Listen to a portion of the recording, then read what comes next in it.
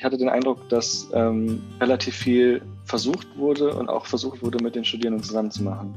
Ähm, und dass man sich, ähm, dass man vielleicht auch Fehler schneller verziehen hat, die natürlich während eines solchen Prozesses passieren. Abgesehen davon habe ich auch das Gefühl, dass viele Universitäten dazu gezwungen wurden, mal endlich digitaler zu denken.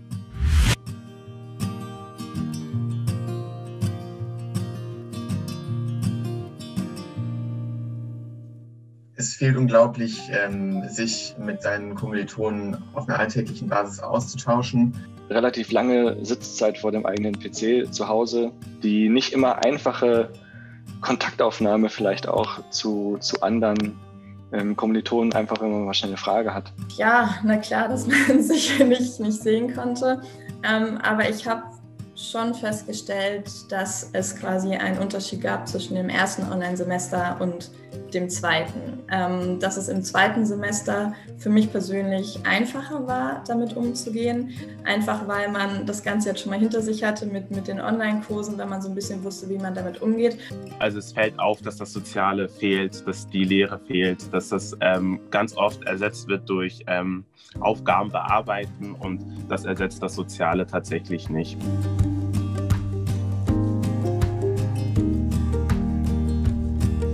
Was die Praxisanteile angeht, finde ich schon, ähm, oder auch den Austausch innerhalb einer Vorlesung, die Lehre an sich, also ob ich jetzt in der Vorlesung sitze und die, die PowerPoint von dem Dozenten sehe oder ob ich sie mir online ähm, anschaue, macht für mich jetzt an sich nicht so den großen Unterschied. Der Arbeitsaufwand für die Studierenden ist hochgegangen, tatsächlich.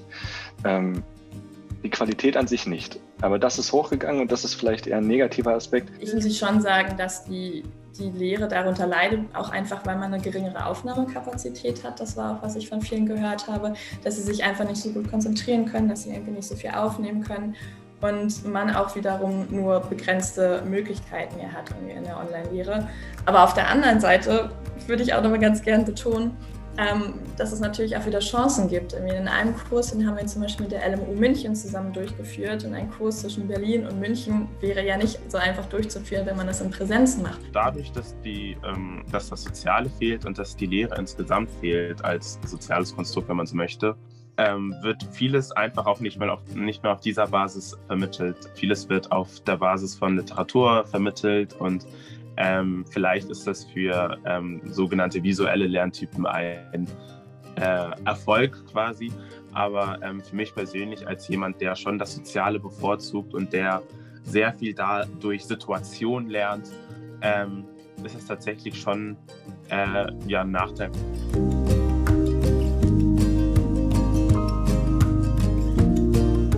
Positiv finde ich, dass man auch wenn das eine riesen Herausforderung ist, sich selber einteilen kann, wann man was anschaut und wann man welche Vorlesung nachbereitet und die Wertschätzung dafür, was man vorher alles hatte und wie schön das Unileben sein kann und wie sehr man sich darauf freut, wenn es dann wieder so ist. Ich hatte den Eindruck, dass ähm, relativ viel versucht wurde und auch versucht wurde, mit den Studierenden zusammenzumachen.